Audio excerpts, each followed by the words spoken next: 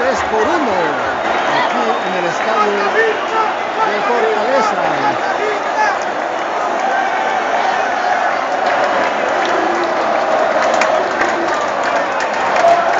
En la arena de Fortaleza,